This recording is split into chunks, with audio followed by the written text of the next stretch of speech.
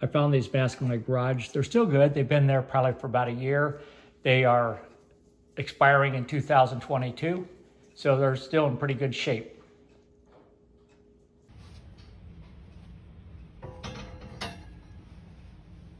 I'm going to take one of these masks and put it on top of the trivet in the oven. The important thing, if you're going to be using the oven to sterilize your N95s, is not to let the elastic touch the metal.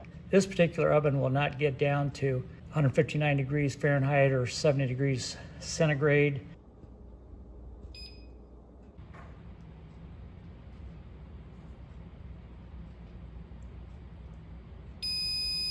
And picked, I think it's cooled off enough.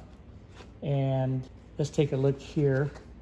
Let's kind of compare the, the nose bridges. And that seems still to be intact. It's actually very solid. It's very intact. Okay, and then let's look at the staples on the side here. The straps seem to be nice and elastic. I suspect you wouldn't be able to do this very often, but it could be done a couple times maybe. Comparing the straps, it feels it feels pretty much the same.